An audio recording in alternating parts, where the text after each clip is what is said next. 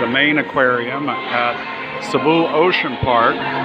This is its first day to open, soft opening today. What do you think, big guy?